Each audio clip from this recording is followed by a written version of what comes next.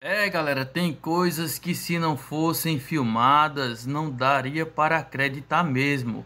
Esse vídeo que vocês estão vendo não é uma história de pescador. Como vocês podem ver, um homem fisgou aí um peixe, né?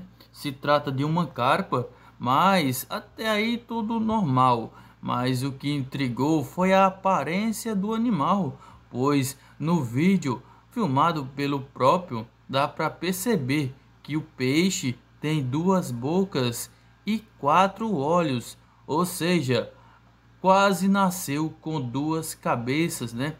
Dá para perceber que o animal está vivo e sadio, né? Daria para viver a vida toda dessa forma.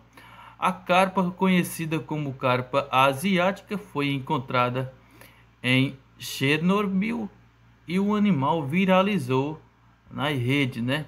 Ele foi pego e filmado porque ninguém acreditaria. A sua aparência bizarra intrigou a todos. O que foi feito com o animal em seguida, é, não sabemos, mas ele foi pego em um, lago, um lago e não a localização do lago, né?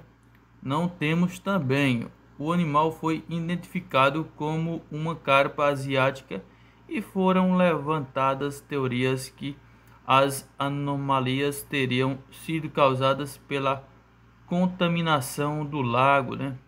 O lago de Chernobyl.